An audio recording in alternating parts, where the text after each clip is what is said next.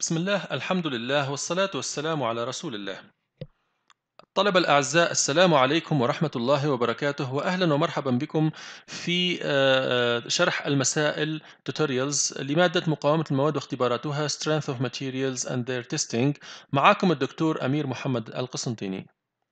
نواصل مع الشرح المسائل المرتبطة بالمحور الأول Introduction to Strength of Materials and Static Review ونشرح الآن المسألة رقم أربعة. معطى هذا الشكل لهذا التحميل. عندنا القوة السحب W تساوي 1500 نيوتن ومطلوب حساب قوة الشد T1 و T2 باستخدام قانون ال Lami's theorem. طبعا قانون ال Lami's theorem هو كالآتي. قوة ال T 1 تقسيم الزاوية المقابلة ل T1 وهي 45 زائد التسعين درجة تساوي ماذا؟ تساوي ال T 2 تقسيم sine الزاوية المقابلة لها. ال T 2 هنا والزاوية المقابلة لها هي هذه كلها.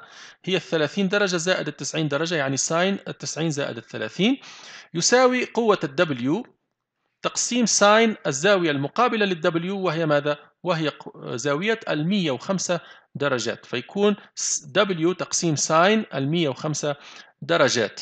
في الحقيقة ال Lami's theorem ليس معادلة واحدة ولكن هو ثلاث معادلات.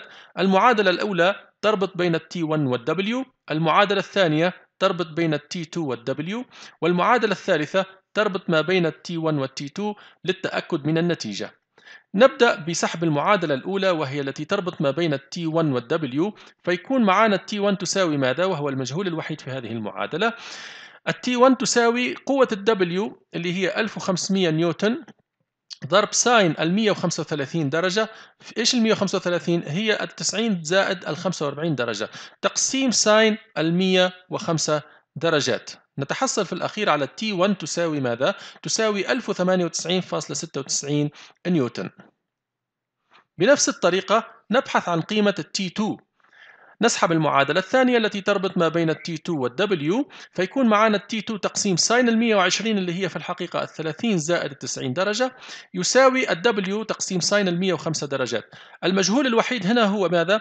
هو ال T 2 فنسحب ال T 2 تساوي قوة الشد يعني تساوي ماذا؟ تساوي ال W اللي هي 1500 نيوتن ضرب sine ال 120 إيش هي ال 120 هي ال 30 زائد 90 درجة. تقسيم sine ال 105 درجات اللي هي الزاوية المقابلة على القوة 1500 وفي الأخير نتحصل على T2 قوة الشد 2 ما بين على ال على ال OB تساوي 1345 نيوتن.